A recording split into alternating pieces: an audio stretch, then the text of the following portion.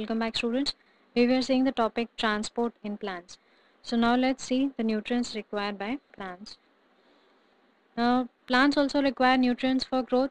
So basically there are two types of nutrients. First is macronutrients and second is the micronutrients. Macronutrients means nutrients which have large molecules, big in size you can say, required relatively in large amounts. Okay. Now basically nine macronutrients including like uh, nitrogen phosphorus potassium these are the main uh, nutrients which are required in more amount.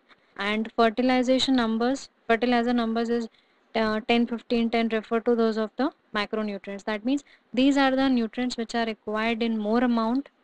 First is nitrogen second is phosphorus third is potassium. And micronutrients are only required in the trace in the, that means you can say in very small amount. There are seven micronutrients basically and uh, they are like chlorine iron uh, iron and manganese. They are just required in small amounts so they are called as micronutrients. Now as you can see there is complete nutrient solution where plant is growing. And after that solution lacking one suspected essential nutrient. So that plant is transferred. What happened? The suspected nutrient is not essential okay? There is normal growth and suspected here you can see the abnormal growth okay now here the trans suspected nutrient is essential. So in some cases the suspected nutrient is essential while in some cases the plant does not require that suspected nutrient. Now nutrients required by plants as we have seen there are two types macronutrients and micronutrients. And these most of the nutrients needed by the plant is obtained from the soil.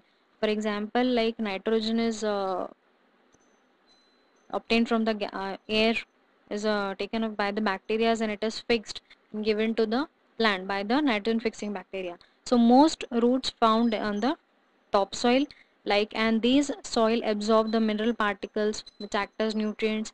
Living organism particularly the detritivores humus the, that is a partly uh, decayed organic matter. Now some plants in the acidic uh, bags obtain like nitrogen by trapping and digestive insects example the venus flytrap legumes house like the nitrogen fixing bacteria which is present in the root nodules. Example can be like uh, azotobacter rhizobium. These are some of the bacteria which fix up the nitrogen and uh, change it uh, into various forms and provide it into the plants like in the form of nitrates. Like and most plants have mycorrhizal fungi which enhance the nutrient uptake by increasing the surface area of roots. That means the more the surface area of roots more they can absorb the nutrients from the soil. Students in this session we have seen the nutrients which are required for plants. In further session we will have some more topics. Thank you